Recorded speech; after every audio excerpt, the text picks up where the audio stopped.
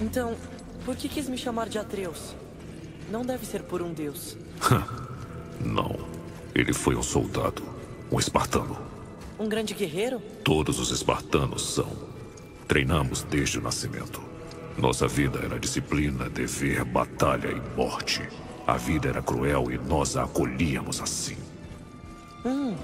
Mas Atreus de Esparta era diferente. Ele sorria até nos piores momentos. Ele era feliz. Ele nos deu esperança de que, mesmo sendo máquinas de guerra, ainda existia a humanidade em nós. Bondade. Quando ele precisou dar a vida em batalha, seu sacrifício salvou inúmeras pessoas e virou o jogo a nosso favor. Eu levei para casa com seu escudo e o enterrei com todas as honrarias espartanas. Sua lembrança me confortou em tempos difíceis.